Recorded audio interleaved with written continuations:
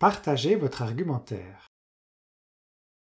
Vous avez complété votre vidéo d'argumentaire et vous en êtes satisfait. Que reste-t-il à faire? Dans cette vidéo, nous verrons comment réviser et partager votre argumentaire.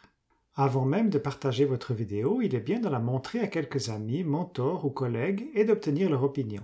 Nous avons tous tendance inconsciemment à préférer notre propre travail, alors il peut être utile de demander l'avis de quelqu'un d'autre au sujet de votre vidéo. Pour assurer que ce retour soit utile, envoyez une courte liste de questions.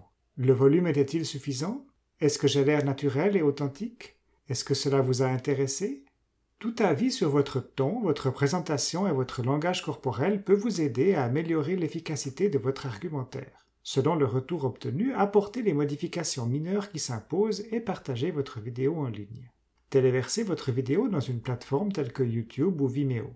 Si possible, ajoutez des sous-titres pour en améliorer l'accessibilité. Assurez-vous que la vidéo soit non répertoriée afin que seules les personnes ayant accès au lien puissent la visionner. Vous pourrez ainsi l'ajouter à votre portfolio ou à votre profil LinkedIn tout en maintenant un contrôle sur votre vie privée.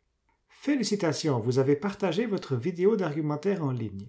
N'oubliez pas que l'argumentaire personnel est une manière personnalisée de vous vendre et de vous donner une bonne image. Elle vous aura aussi permis de vous pratiquer à vous décrire de manière concise lors de vos futures entrevues d'embauche.